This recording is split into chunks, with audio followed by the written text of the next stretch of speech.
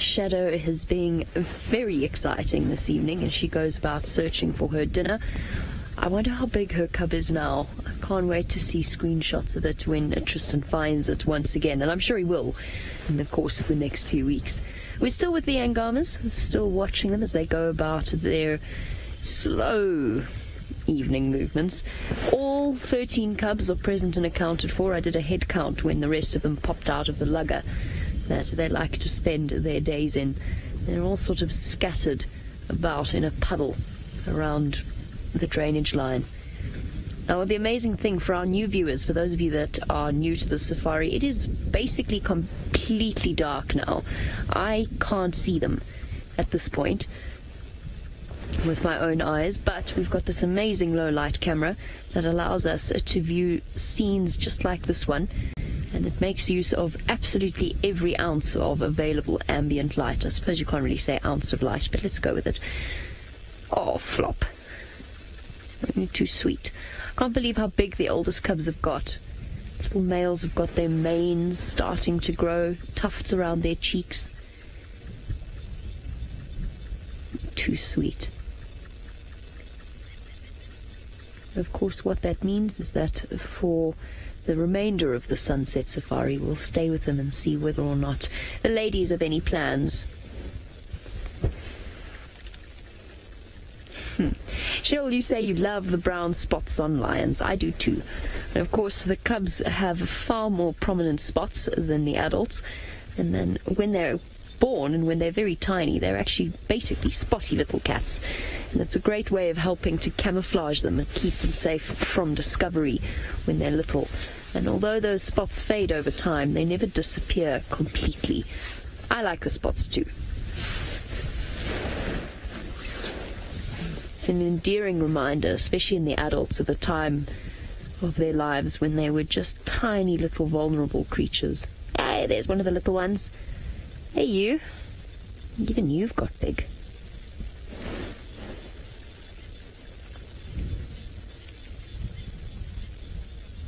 Popping out of the thickets. Oh, that's a lot of lions all cuddled together there. Little one wants to in on the action. Kathy in Ohio, yes, absolutely. It's it's as green as it is because of the rain that we've had. So it's essentially, I mean, the, the herds of wildebeest that came through have acted almost in a way like a fire. They've cleared away the grass, they've cleared away the moribund material, and it it is almost like a fire's been through certain parts of this reserve, and that, that's not because there has been a fire; it's because the, the wildebeest have gone through. But you know how after a fire, when it rains, and a couple of weeks later you get the green shoots, well, actually a couple of days after rain and after a fire, you get the green shoots sticking through. It's just like that. Is it cold? It, it, you know it, it is it is cold. It does get cold, particularly around about that sort of two three o'clock in the morning mark, and especially if you're driving. Again, it it it never gets as cold as it does in Djuma over the winter. I would say it hovers somewhere around about in the dead of night, somewhere around about 15 or so, 15, 16. It it does feel cold after when you're out all night. And when the wind howls, as it is at the moment, it of course drops the temperature by a few degrees. I wouldn't say we're nearly as cold as we would be on a mo- winter's morning in Djuma. I can hear something, but I can't work out what it is. And Chantal tells me it's 20 degrees. Um, I I don't think so. I mean, I, have never been the bravest person when it comes to cold, but I'm wearing a jersey and a jacket and a scarf at this point, which I, I felt that would be overkill for 20 degrees, even for me. Uh, mm, I would say that thermometer might be a bit confused, would be my guess, if I had to be honest. It definitely feels, it definitely feels colder than that. What would you guess the temperature at, Craig? 15? 16? Hmm. Around there, says Craig. Maybe it's just because we've been sitting still in the wind. Perhaps Chantel's thermometer has got its spot on. I actually don't even know where that thermometer is. The weather station. Come to think of it. I don't know exactly. Such a peaceful evening. It's been very peculiar. It's been a very quiet few nights. In the nights that we've been out driving around, the lions have been silent. Last night was different across the other side of the river.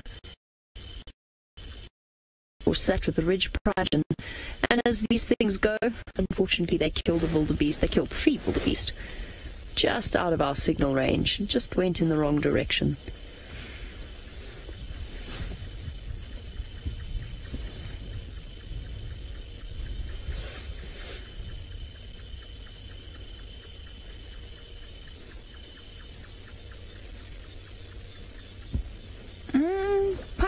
Pancakes that's a difficult one because it depends on it depends on what you're observing and it depends upon the the situation that you're in. So Piper Pancakes question is about how much time we actually spend driving around versus um, she's seen something. I'm just trying to see exactly what it is versus actually spending time observing the wildlife. Sometimes we come down the hill and we sit with the Sausage Tree Pride an hour into our drive and, and we sit with them for the next potentially 20 hours in the past. It has happened. Um, then occasionally we, we drive for three hours to get to a destination that we want to get to.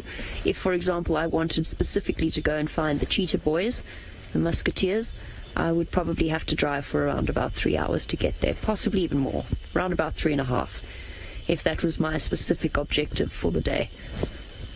So it really is circumstantial. Um, I'm not sure if I could average it out. Obviously, the distances that we travel here in the Mara are considerably more, just because we've got 160,000 hectares of, of traverse uh, that we, we cover, distance or ground that we cover. And the roads, you know, there's certain roads that are more difficult than others. She is most definitely on a mission. What have you seen? Because I can't see anything. That's an elephant. You don't want to eat an elephant. Not a big one. Now, unfortunately, the, the area that we're in is the non-off-roading areas. So there's certain places where we can off-road and certain places that we can't. There's very good reasons for that decision um, in terms of the amount of people who come through and visit these parks. It, it wouldn't, there's certain places that are basically high use and more vulnerable to damage. What have you seen, my, my girl? A good vantage point. Oh, okay.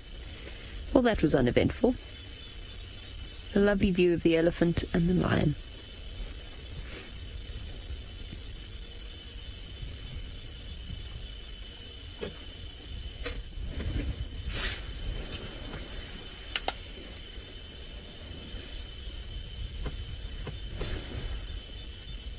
The second lioness on her way to join her. They're definitely thinking about their meal for the night. And although they're not starving, they do look a little hungry.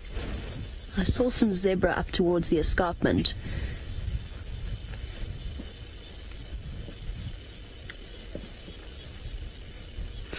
Cheryl, yes, there will be somebody permanently in the Mara for our Safari Live shows for the foreseeable future. Yes, absolutely. Uh, I, I couldn't tell you possibly exactly what the schedule or the rotation is going to be, but there will be members of our camp here. Obviously, one of our goals and one of our objectives will be to find and employ such a, we've already done with Manu um, Kenyan staff as well. So it might be that they they the people who are up here. But honestly, I mean, I can't give you an exact answer because I don't think we know just yet. But yes, there will always be somebody here in the Mara for Safari Live. Absolutely. All right, we're going to do a switch now, and Craig is going to go to infrared. Obviously, the light is getting a little bit low. There we go. Paula, a lone lion attacking an elephant, highly, highly unlikely. The only situation where that might happen is with an elephant calf, in a situation where perhaps the mother is exhausted from giving birth, then a lone lion might attack. But really, elephants are far too big and far too strong and far too big of a risk for lions to try and hunt on their own. And elephants know that. And for the most part, even the, the lions that do specialize in hunting elephants and that do hunt elephants, they only do it when they absolutely have to. During dry season, when other food is particularly scarce. And they'll generally go for young males that are on the outskirts of the herd. And the reason behind that is because the herd is less dedicated to protecting them. To try and go for an elephant calf with the rest of the herd around would be almost the lion equivalent of suicidal.